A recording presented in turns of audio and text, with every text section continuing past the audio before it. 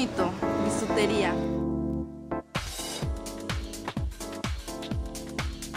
Tenemos los mejores collares para cualquier ocasión.